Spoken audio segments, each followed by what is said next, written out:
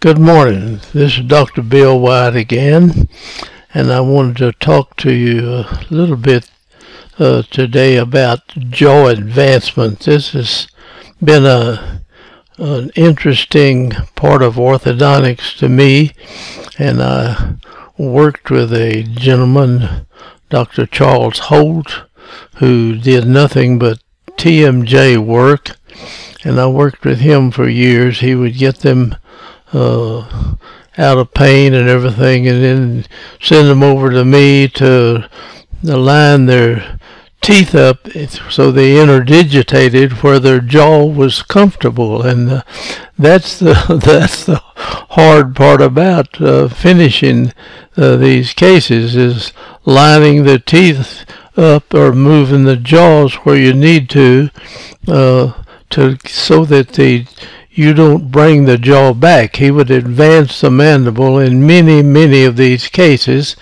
We advanced the uh, mandible, and I saw this working in doing TMJ work, and I thought, well, why not just use this even if their jaw doesn't hurt? Why not bring the jaw out on people? and uh, make them look better. So uh, I have done that with people that had TMJ work or people that didn't have any TMJ problem, but we could advance their mandible and it doesn't bother their their joint at all to do that. And so we have done that with other with people. Now this case that I'm going to show uh, had some TMJ problem, but not a serious one and I'll show you that on these transcranial x-rays and stuff that we uh, go through with that. Uh, here is the uh, lady. This is after we finished the work and she's got a nice vertical height of the face. You can see right in there it's divided up very good and uh, just a nice looking face and but this is after we uh, did the work. We've brought her jaw forward now and also opened the bite as we did. She was class two, something like this, and we moved it out here. And so we opened the, uh, gave her a little more vertical distance in the lower third of the face. Uh, here was her smile prior to the uh, work and here it is after this is before we completely finished and built partials to replace her teeth.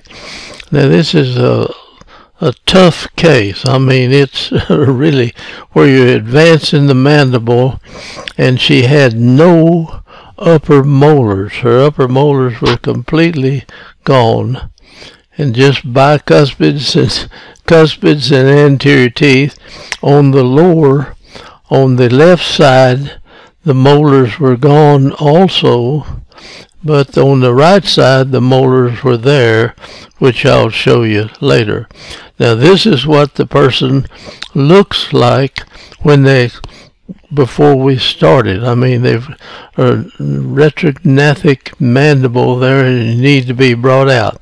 Now you can do surgery on this and advance them, and I have done scrubbed in with surgeons uh, doing this type of work, and it is really complicated stuff. Now, uh, I didn't do the work at all. I just scrubbed in. I did a little bit of the wiring uh, I could wire them up uh, pretty good, uh, but uh, I didn't do the surgery at all. But I worked with probably uh, 10 or 12 different surgeons in the Dallas area in cases where we sent them to surgery, but many of them I did without surgery. Now, here's the way it looked after we finished the case.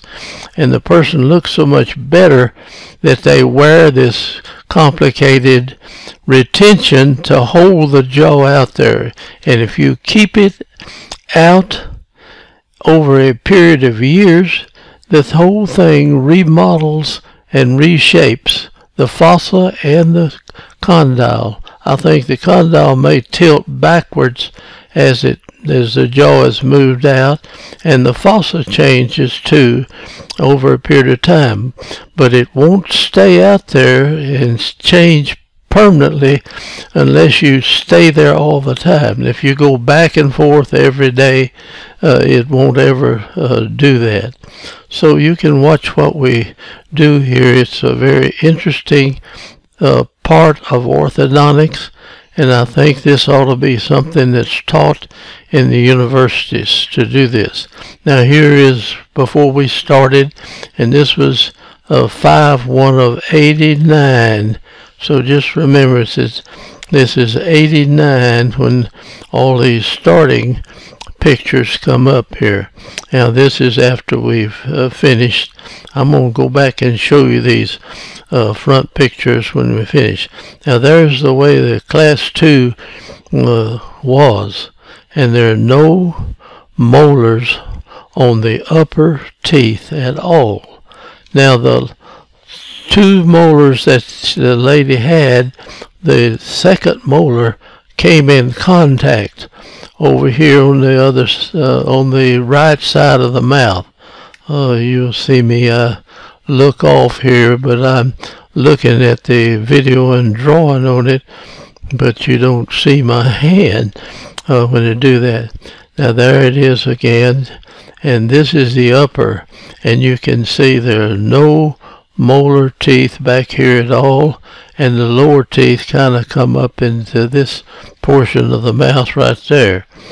Now this looks uh, impossible uh, to do this without the teeth there and it was hard and I had to work with the lady's dentist.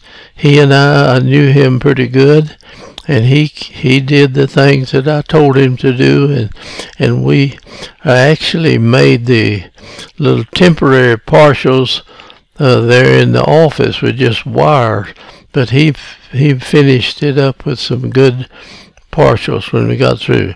Now this back in the 80s, we weren't doing as many implants and all, so uh, this is one reason, and maybe it's a lot more economical and everything to do uh, the case where you do a partial rather than implants. I'm sure it is because some of the dentures now that are done with oh eight or ten implants they may cost twenty and thirty thousand dollars to make a set of uh, teeth, you know, for somebody.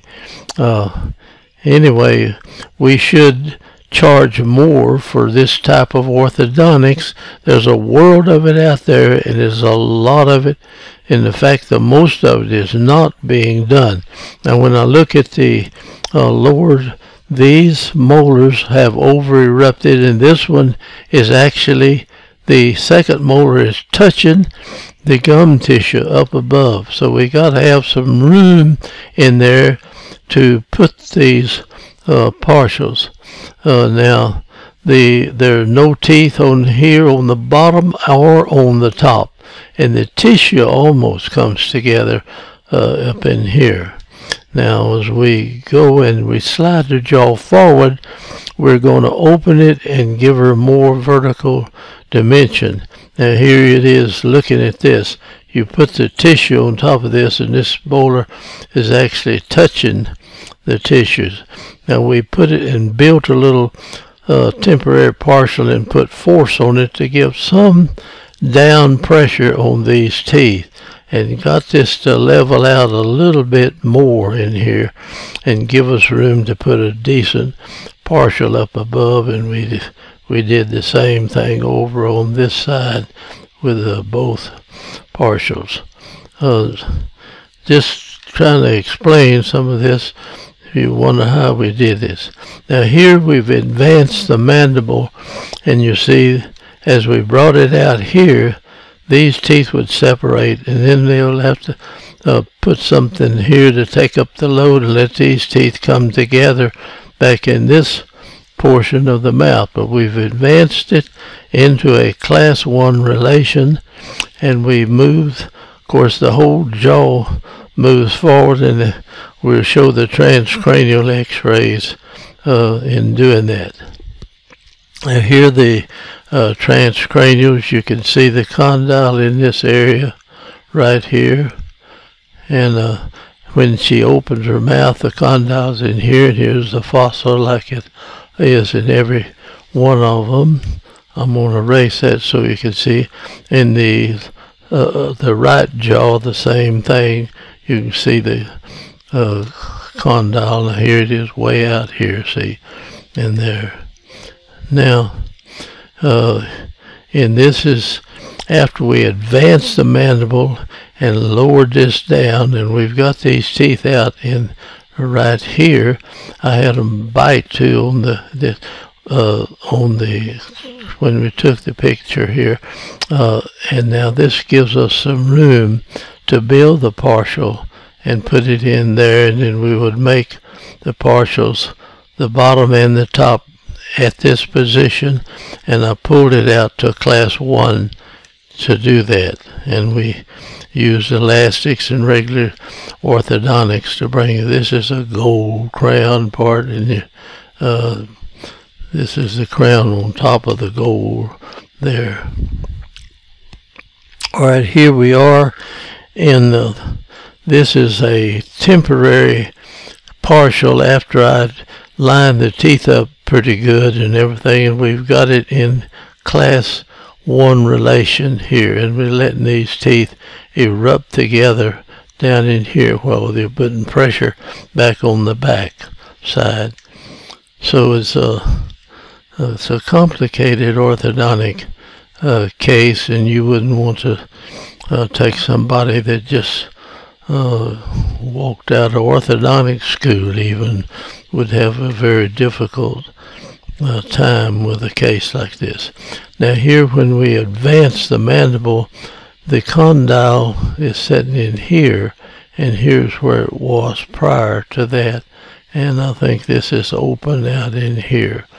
Uh, so I don't want to take too much time running through this complicated type orthodontics.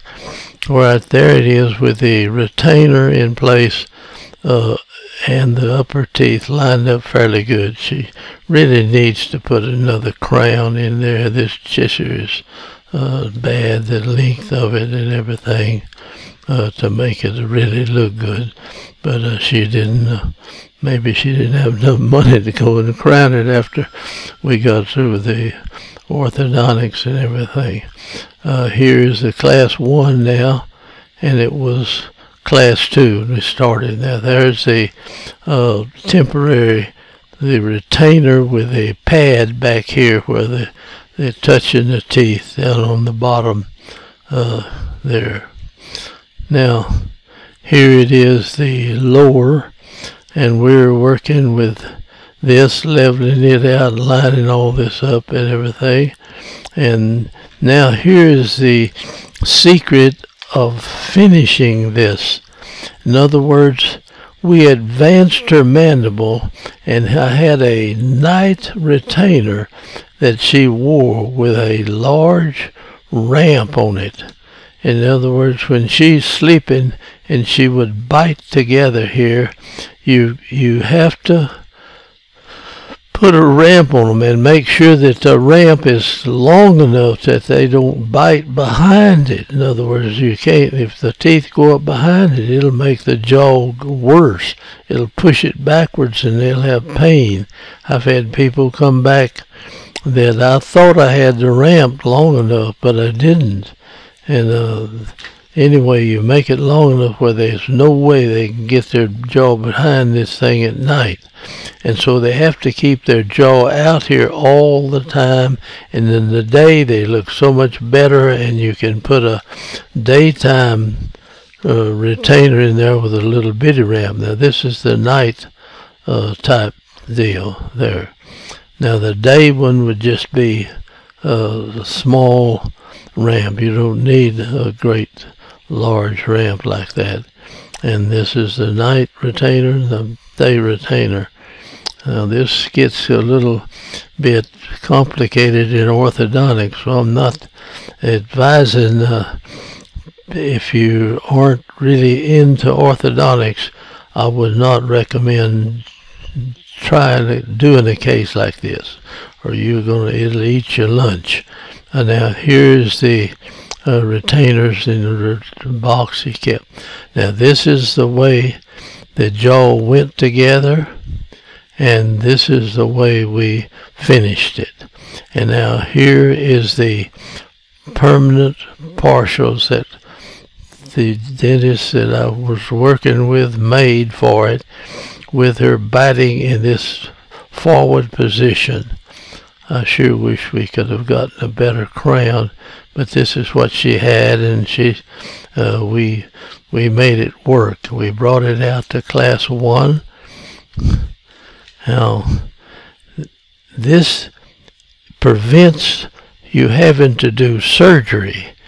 Now, I've put table clinics on at the Dental Society on doing this, and uh, I've had a, a, surgeon that probably wasn't getting all the work he wanted. Said, "Well, what are we going to do?" Well, we don't do this on everybody, uh, but this is where she was biting when we started, and there it is. In other words, we advanced this mandible. This spot right here was under here. And when we did that, this opened, these teeth were up here. They went out here and this dropped this down. We level this a little bit and then we put a permanent type partial in that area there. And there it is in class one, see. And the same thing over on the other side. You see this tissue is almost together here. But when we slid the jaw up to this advanced class one position and then held it there with that ramp, then you have something like that. I didn't get over to the side, but you can see we had room enough to stick the two upper and lower teeth in the posterior part of the mouth. And that's, uh, I think that may be the end of this part of it. Well, there's the uh, top, and there it is with the final partial in there, and we didn't even wear a retainer back on that. This is a kind of retainer for the bicuspids, and the teeth here will stay back as long as she's got good lip pressure. Uh, this uh, partial is a kind of a partial retainer too. And here was the uh, finish deal. But this is more serious. I'm going to run back here just for a minute to where we started and I'll show you the difference that it made in this person's mouth. You see. And here she was when we got through with it. Now this makes such a difference in it, and it's with no surgery. In other words, if you'd done the surgery on this, you'd have uh, they're about forty thousand dollars doing that. And so, really, if you do the orthodontics, you could charge a good bit more than you normally do. But this is what we do, and uh, I think there's a ton of this type of work out there, and there's very little of it being done. So I'm going to hush here and uh, close this thing up. So thank you for watching. Hope you join our group and uh, subscribe to our channel. Thank you now. Bye-bye.